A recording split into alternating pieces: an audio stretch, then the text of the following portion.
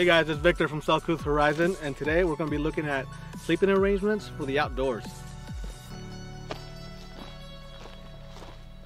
So the first setup we're going to check out is Joel's and his 4Runner. So yeah, tell me a little bit about your setup here and uh, why you, first of all, why you chose to go with this. Well, I was a little bit uh, in a bit of a time crunch in terms of how soon I needed to figure something out for one of our road trips last summer. So um, I always kind of wanted to build a platform. Uh, maybe not long term, but I did want a different setup to check it out. So I figured, why not? I had a day, I put a couple things together, and this is what I got out of it, man. Awesome. So how'd you go about making it? Like, what's was it hard to make? Like, what how, what gave you the idea to first go with this? Like, was it just that it was something that just made sense at the time, or?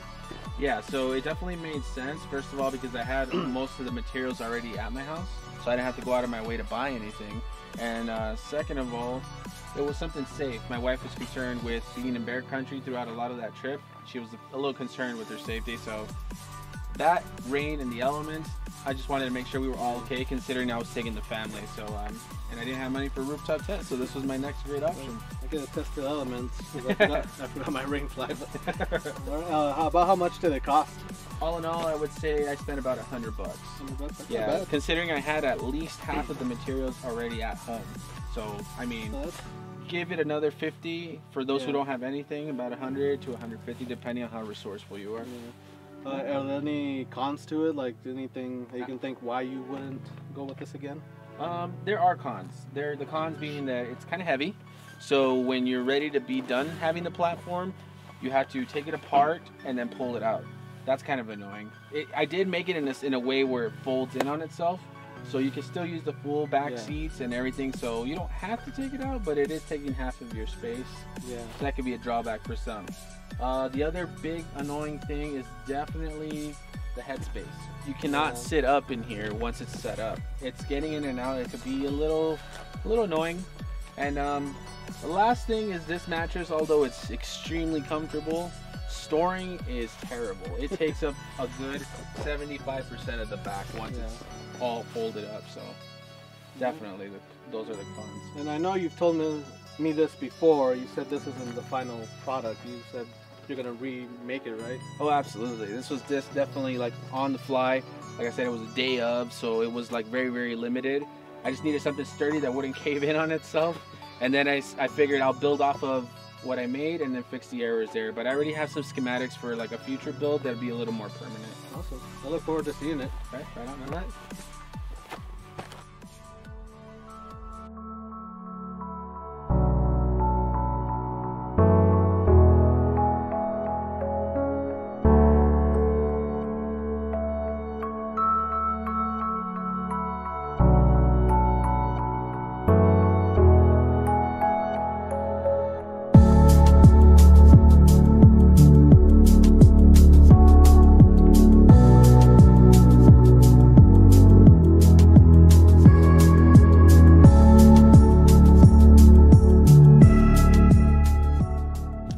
So the next setup we're going to be checking out is what's pretty much most popular out there, and that's a rooftop tent.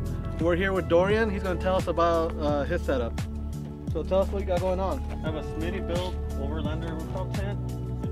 It's in the bed of my truck, and yeah. Uh, how much did you pay for it? How much was the cost? Uh, I paid a little over 700 which that's not, that's not bad. I know the cost of it went up recently. I think. I think it has, yeah. I mean, is there anything that you don't like about it? The only thing I, it's not that I don't like about it. It's just it makes it a little bit difficult. It's storage at home. I don't have a garage, so I keep it in a shed. But okay. having to take it off and on every time I go camping. So for someone that has like yeah. minimal storage, I mean, their home is kind of the truck is my daily vehicle. So if, yeah. if it wasn't my daily, I would just probably just sleep it on there. Yeah. Travel around with it. Um, would you buy it again? I think I would, but maybe like those newer hard shell ones that are kind of like a hybrid. Oh, okay. So this, this is pretty much like a budget friendly. Yeah, it's, tent, a, right? it's the more budget one. Yeah. But it's still like good quality. It's not like the material's pretty good. Other than other than storage and stuff, like, that, I have no complaints over it. Yeah. Awesome. Awesome. Well, thank you for uh, telling us about yeah, your setup. No worries. All right, guys. So everybody's on a budget. or maybe you're just in a hurry and don't want to deal with setting up a rooftop tent on top of your vehicle or packing all the stuff in the back of, of your SUV. So I'm gonna talk uh, to Octavio here. He's gonna tell us a little bit about his setup and uh, why he chose uh, to go the route he did. So, Well, I'm on a budget and I'm on a hurry. So I feel like this is the cheapest alternative. You know, depending what kind of vehicle you have. If you have some backspace or something, um, you don't have a lot of money to buy a rooftop tent or get your rig set up with a little nice cabinet thing, you know. But uh, you just throw in your sleeping arrangement, your blankets. You don't even have to have uh, sleeping bags. You could just throw in blankets, uh, a pillow, whatever. Um, you sleep pretty warm. I mean, if you want to get a little mat or something like that, you know, depends how much you want to spend. But uh, since I was in a hurry, I'm on a budget. Uh, this is the best alternative for me because it's it's the easiest. So I can't really. this is obviously only you only use this if you have an S. You only have this option if you have an SUV, obviously. You know, unless oh, or if, I guess you can set up like a camper, but then you have to. I mean, it doesn't make any sense because then you would uh, have to set up like a mat or something. But I mean, if you have an SUV, it's quick. I mean, it's the quick and dirty. So it's uh, yeah, it works. It seems like for you, right? I mean, yeah.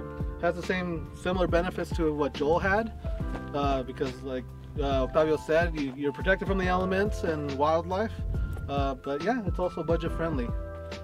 Yeah, Yeah. If, if I wouldn't have had all this junk, you could fit, I would say, three people.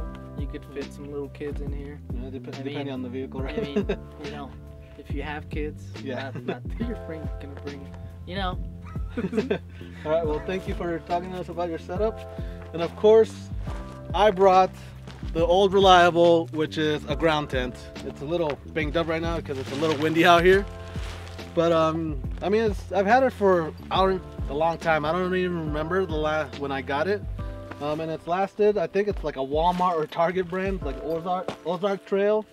Uh, and it's worked. I mean, me and my wife and our dog sleep in here. Um, we put a cot in there, and put all of our stuff. It's it was cheap. Uh, I think I got it was like around a hundred bucks. Uh, but yeah, I mean, it's I don't have to worry about storing it at home, or it's easy to store pretty much. You know, it, I don't need a lot, whole lot of space, and it's just convenient all around. Um, a con of ground tent um, is obviously you're on the ground, but also uh, if you get like a cheaper tent, it's the material is pretty thin on here, so it doesn't have much weather protectant. But um, I mean, overall, I, it's a good option for someone that just wants to get into the outdoors and doesn't know if they're gonna like it, or just entry level, or maybe you're just ground tents are your thing. Some people just that's what they like. So yeah, well, I appreciate it, guys. Thanks for watching. Uh, definitely look out for the next video. Uh, hit that subscribe button, and we'll see you in the next one.